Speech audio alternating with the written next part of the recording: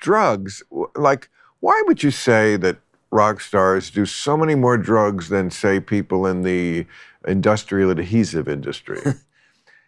Best best guess I can give for it is uh, there is a social aspect to it because you spend a lot of time sitting around. There is the idea that if you're playing whoever you're playing on stage, you can sustain that longer. And then there's other things, which is uh, like you know the guys in the crew, Mötley Crüe would tell you, you get so high on stage that you want the show to go on off stage. Is that Of course. kind of generally cover? it? Absolutely. Well, yeah. Also, you can afford it. Oh yeah. And also, people offer it to you. People like go out of their way as a way to curry favor with the band by getting them not just the best drugs, they get them the best everything. That's a way to like ingratiate yourself. Yeah, we had a- famous person. Here's the best pot ever. Yeah, we had a guy once. Um, it was when we were still pretty young, but the guy came backstage, and he said, uh, "Does anyone have any weed?" And our roadie at the time, he was the weed guy, right? I said, "Well, that guy." And so he goes, uh, "If you can get me some weed, I've got liquid LSD." Okay, we just met this guy. LSD's always liquid.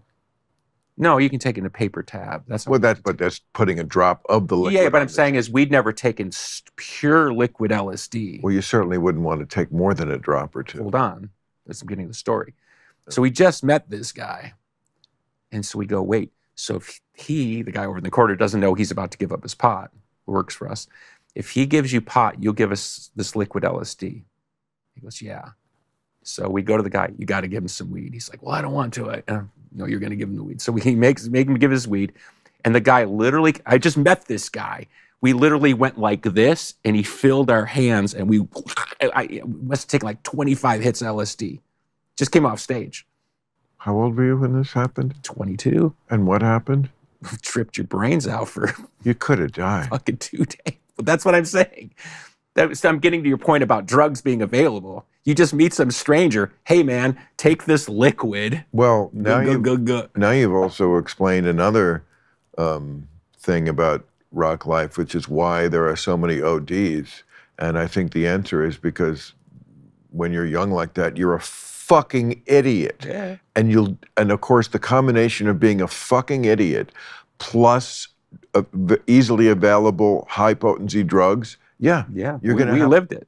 We Yeah. lived it. I mean, we, we had No, I, I remember we've had overdoses and people die and all of it. We've I done it remember doing It's- and things- it's horrible. doing things that when I look back, I'm like, wow, my God. There, there was, I remember in college, you know, we're experimenting with everything. There was something that went around, and it was, I guess it was what now they call poppers. Mhm.